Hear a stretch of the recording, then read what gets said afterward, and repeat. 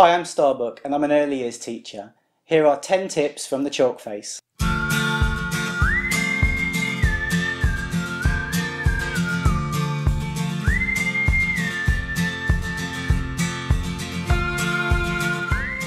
My first tip is to make a picture using sandpaper and scented candles. You can get sample candles which are much smaller that the children can hold. As long as they're scented, they can draw straight onto the sandpaper and they create such wonderful pictures of them. It makes a great display and it's a really nice talking point when people are standing and smelling the different pictures. If you're doing a craft activity which involves lots of glue and paint or involves lots of water and sand and you don't have any covers, rather than pay out lots of money for covers, if you look for a shower curtain in a supermarket or IKEA or Asda, they're much cheaper. If you want to enhance your Play-Doh, a nice twist is to add some Angel Delight. It will add a great new sensory experience to it. If you want any other information about Play-Doh, you can visit Alistair Bryce Clegg's website where he has some free recipes that you can use with Play-Doh.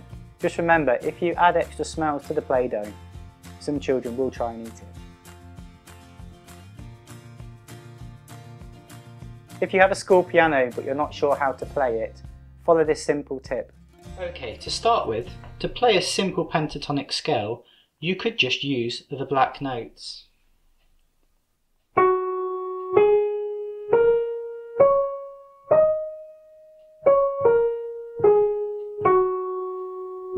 As long as you keep a note apart, it will usually sound good.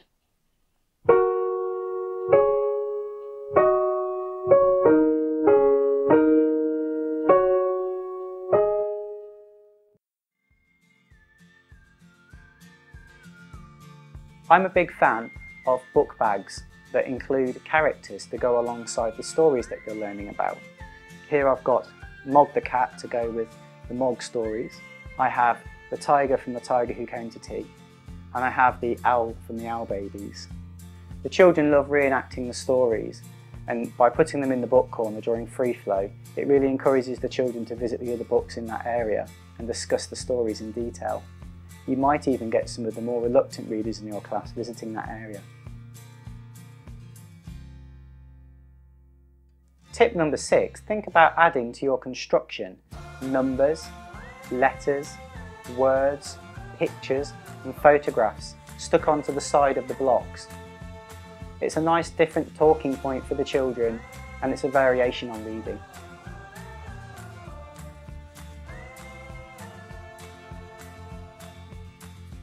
If you're doing junk modelling and you find that the paint is not sticking to the box, encourage the children to invert the box first, stick it together with masking tape, and then you should find that the paint sticks.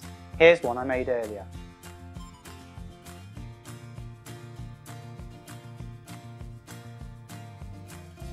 I really enjoy introducing a topic or theme with a letter from a famous character.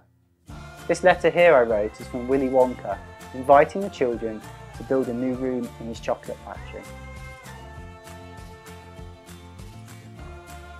If you take photos of the children's activities during the day, try and assign some time at the end of the day to review the learning that has taken place. If you use a visualizer app, you can actually stream the photographs from the tablet onto the large whiteboard to accompany the children's stories and recall of their learning during the day. This app works with a lot of different types of computers and tablets. Making books with the children is very exciting and this app here is a digital version that allows you to add pictures, photographs and writing. If you assign each child a page, they can then share it with the other children. You can save this as a PDF and print it. It's a great opportunity to find out about their interests. Thanks for watching. Don't forget to share this video with your friends on social media like the video and subscribe to my YouTube channel. Bye!